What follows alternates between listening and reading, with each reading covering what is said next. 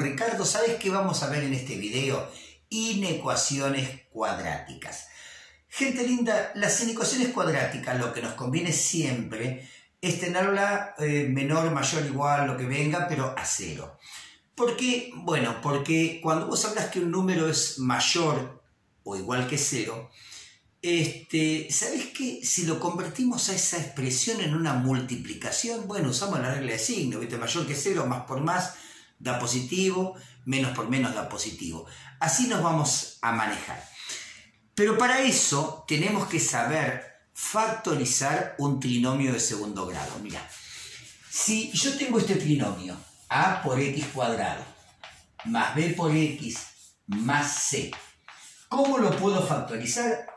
Si tiene raíces reales, lo factorizás, mira, se hace el coeficiente cuadrático por x restado una raíz por x restado la otra raíz. Así de sencillo se factoriza. ¿Saben qué? ¿Viste la, función cuadrática? La forma factorizada es, eso. Bueno, eh, por supuesto que hay que las raíces. Las raíces en este caso las vamos a hallar por la fórmula resolvente de Bhaskara, que dice que las raíces son menos b más menos la raíz cuadrada del valor de b al cuadrado menos 4 por a y por c, todo dividido 2 por a. Así que a remangarse, a calcular raíces, a factorizar y después lo demás va a ser muy fácil. Mira, acá tenemos una expresión cuadrado. 1 por x cuadrado, o sea que a vale 1. Menos 3 por x, o sea que b vale menos 3. Menos 18, c vale menos 18. ¿Cómo son las raíces? A ver, sería así. Menos el valor de b. ¿Viste que b vale menos 3? Bueno, menos menos 3 te da 3 positivo. Más menos la raíz cuadrada de b al cuadrado. O sea, menos 3 al cuadrado. Menos 3 por menos 3, más 9. 9. ¿Qué viene después? Menos 4 por el valor de a y por el valor de c. O sea que tenemos que hacer menos 4 por 1 y por menos 18. Bueno, eh, eso 4 por 18 es 72. Gente linda, cuando hacemos menos 4 por 1 da menos 4. Y por menos 18, menos por menos es más.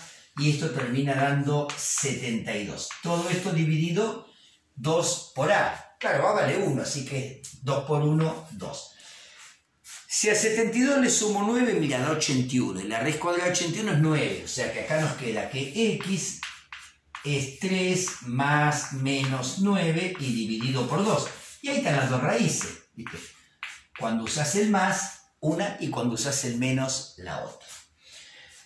3 y 9. 9, 10, 11, 12. 12 da. Pero cuando lo dividís por 2 te da 6. Vamos con la otra raíz. Cuando uso el menos. 3 menos 9, eso da menos 6. Dividido 2 menos 3. Ahí están las dos raíces. Fíjate cómo lo factorizamos. El coeficiente cuadrático A acá vale 1, así que directamente vamos a poner, al 1 no lo ponemos. Viste que multiplicar por 1 no te mueve el perímetro. Vamos a colocar x restado una raíz. x menos 6.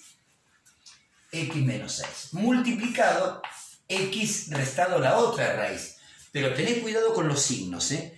Porque vos tenés que hacer x menos menos 3. Tenés que hacer esto. x menos menos 3. Claro, menos con menos es más. Te va a quedar x más 3.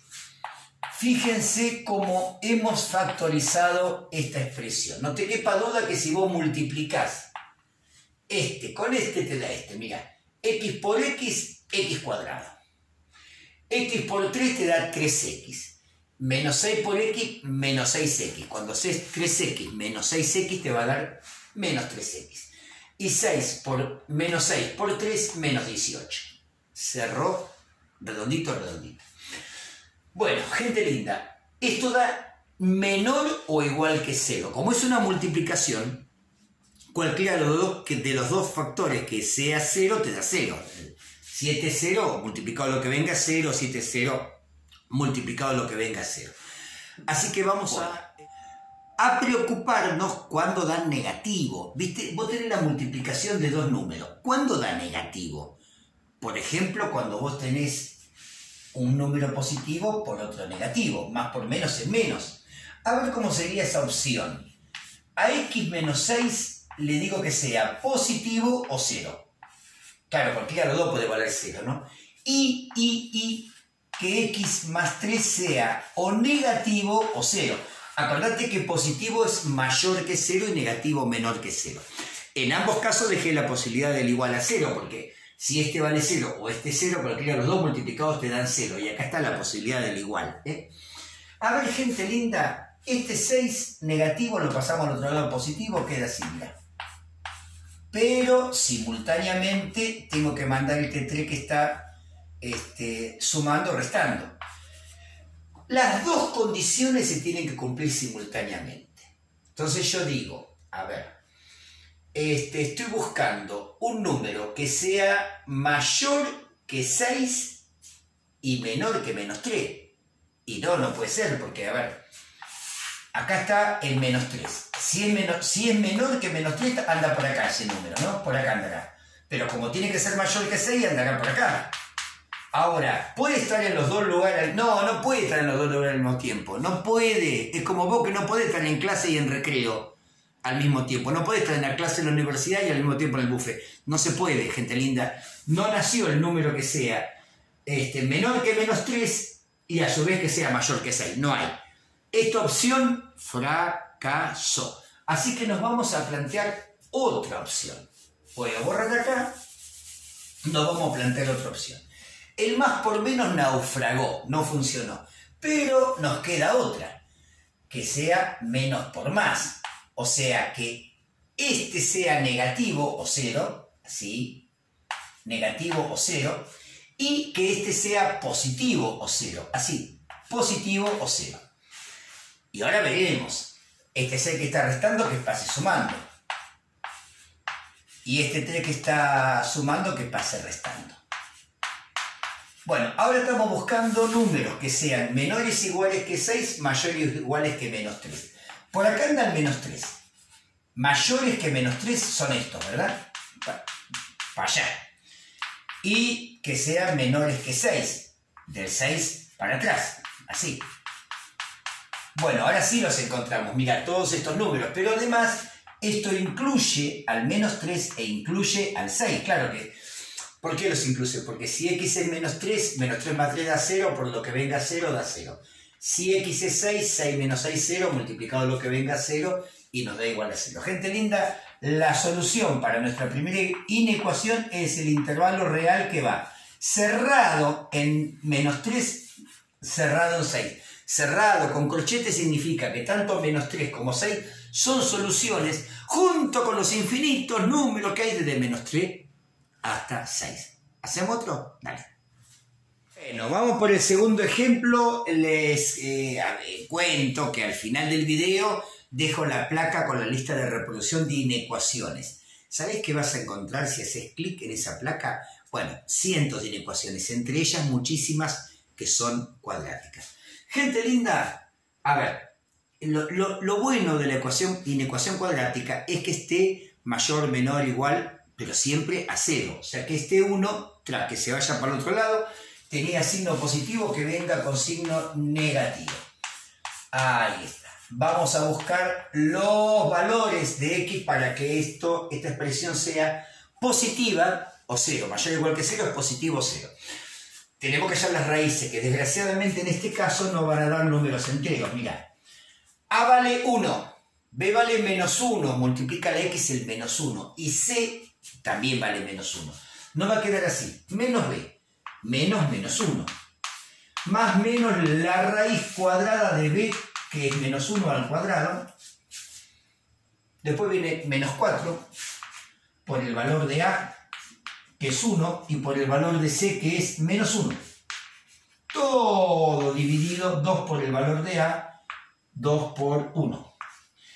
Bueno, gente linda, hagamos cuentas. Menos con menos es más. Acá quedó 1 más menos la raíz cuadrada de menos 1 al cuadrado que es 1, y acá cuenta de multiplicar. Acordate cuando haces esta parte, cuenta multiplicar. Como buena cuenta multiplicar, primero atendemos los signos. Menos por menos más. 4 por 1, 4 y por 1 4. Todo dividido 2. Gente linda, 4 y 1 son 5. O sea, acá, qué lástima, ¿no? Quedó, no quedaron números redondos, pero tampoco va a ser problema. A ver, una raíz es cuando uso el menos, la otra cuando uso el más. O sea, 1 menos raíz cuadrada de 5 dividido 2, una raíz, la otra uso el más. 1 más raíz cuadrada de 5 dividido 2. Bueno, este número es más chico con este y si de última nos guiamos con una calculadora, ¿cuánto, ¿de cuánto estamos hablando? ¿Creo que lo hagamos? A ver, para.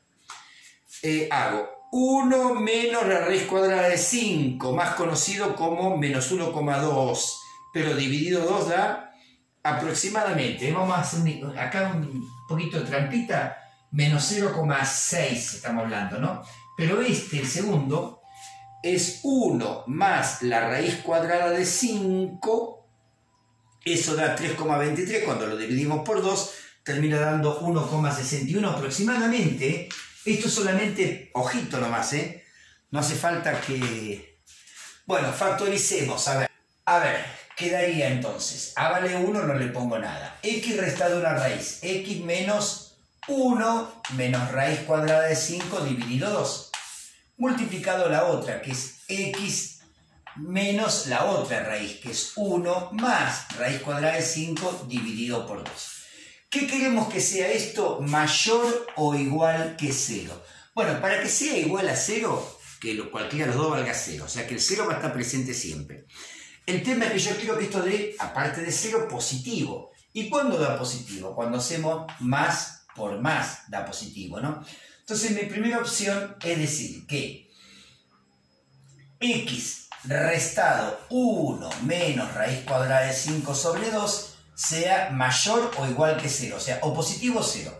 Y que x menos 1 más raíz cuadrada de 5 dividido 2 sea positivo o 0. Así tenemos que cualquiera de los dos puede valer 0 o si no, cualquiera de los dos sean positivos. Pero estas condiciones se cumple simultáneamente. A ver, mandemos este sumando y ahí nos queda así, 1 menos raíz de 5 dividido 2 y mandemos acá sumando este, este 1 más raíz cuadrada de 5 dividido 2. Bueno, gente linda, a ver, vamos a ubicar a este y a este, por eso hicimos la trampita acá.